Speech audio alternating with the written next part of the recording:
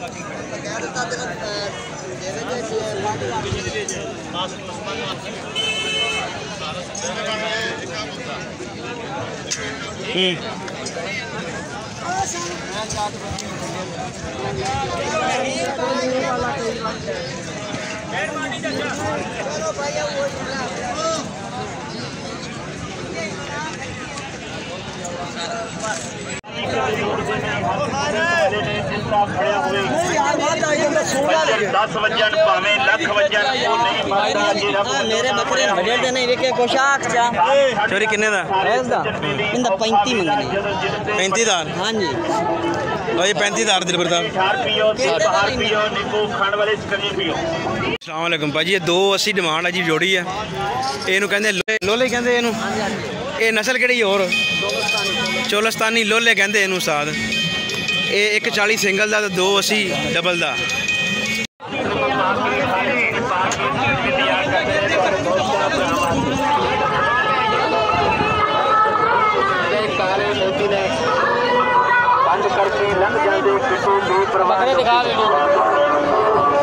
Sorry ਇਹਦਾ ਕੀ ਹੈ?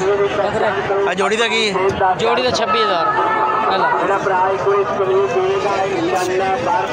लो जी दिलवर साहब छब्बी हज़ार रुपये आ गया जोड़ी दिन बकरे दो बकरे छब्बीस हज़ार रुपये की जोड़ी। इसको कहते हैं जी हसारी जो रेस में इस्तेमाल होते हैं।